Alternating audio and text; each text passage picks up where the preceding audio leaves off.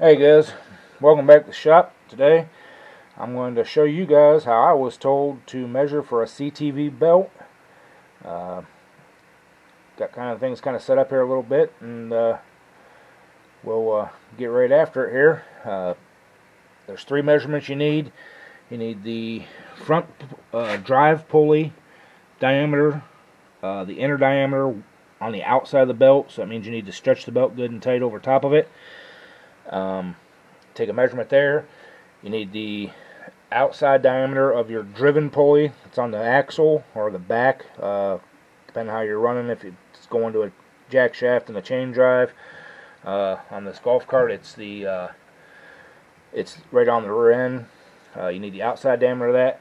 Then you need the center to center measurement between the center of the driven pulley or drive pulley and the driven pulley, and then there's a bunch of math and stuff you can do, or there's calculators online, or the third option is uh, wherever you're buying your belt from.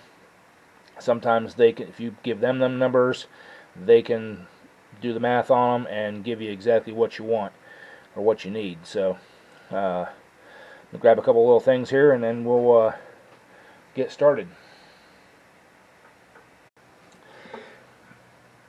Alright guys, um, I got a pair of C-clamp vice grips on the belt here to wrap, get it wrapped around. I couldn't pull it tight enough and run my calipers.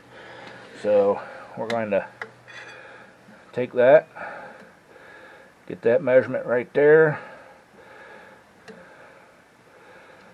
And that looks like a 2.458. Um, I might just go ahead and call it two and a half.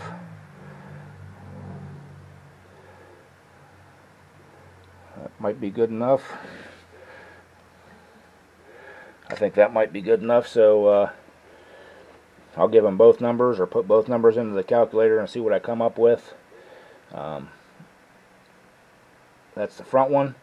I'll move you guys around, get you a shot of the back, show you how I'm going to measure that up.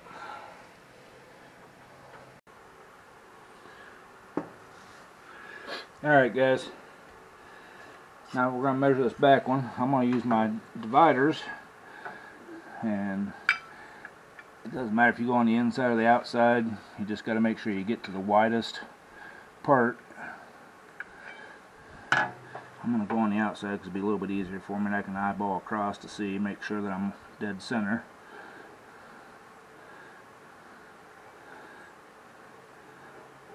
And then I'm going to lay that on a tape measure. So I lock it down. And measure that. And that pulley is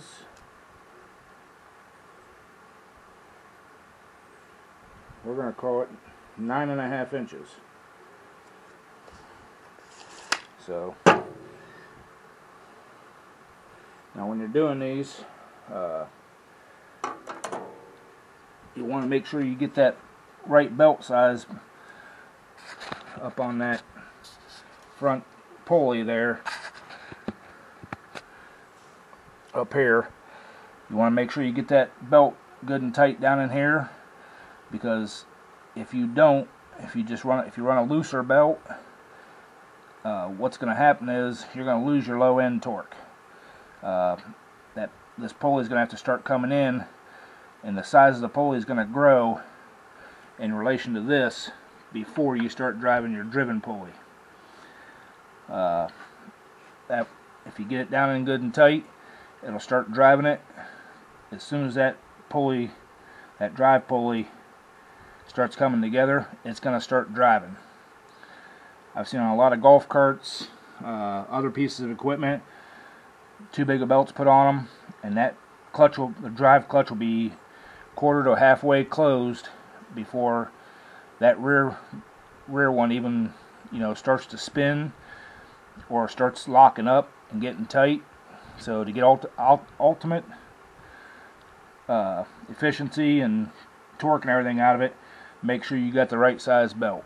So uh, I'm gonna go online here and see if I can't find a belt size and if I can get the right length belt or get the right measurement length belt. I'm going to check with Napa. Napa's pretty good about getting me my belts and stuff.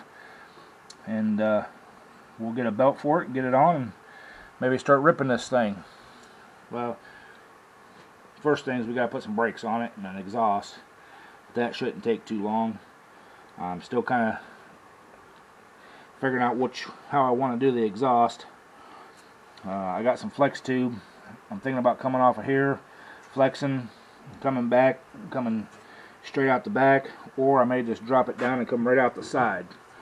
Um, I think a side pipe would be cooler, but uh, I have to wait and see how loud it is. Because like I said, this is going to be my workhorse for around the around the house and stuff here. So I don't want it too obnoxiously loud, but I do want it to sound cool. So we're I'm getting ready to do the brakes and exhaust and final couple things there, we'll bring you back and uh, show you what's going on. Thank you guys for watching. Appreciate it. This is a little quick video. Uh, if you're new to the channel, please subscribe. Uh, hit that like button for me. Leave me a comment. And we'll catch you all on the next one. Bye.